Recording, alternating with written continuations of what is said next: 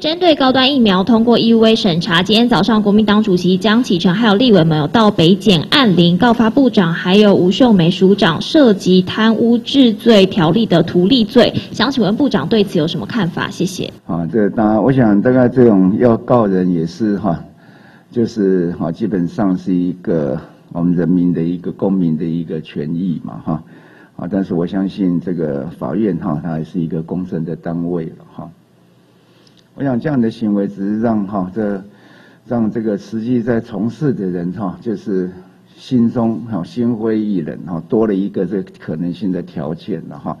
那不过我们不会哈，就是说不以为意也不对了哈。但是我觉得这样的行为，如果个人要来表达，我认为是不好的。美国在审查辉瑞的时候，有全程八个小时的录影公开，想问当时为何没有进行比照？有关于录影哈，或者每一个国家的制度各有不同。好，那我昨天也特别跟大家也解释了哈，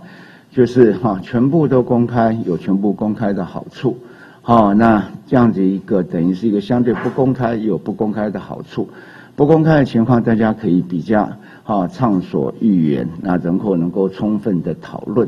好，那有公开的时候，那相对的顾忌又会比较多，好，那有可能有一些利益的纠葛，好，等等的都有这样可能性，所以这两个是哈。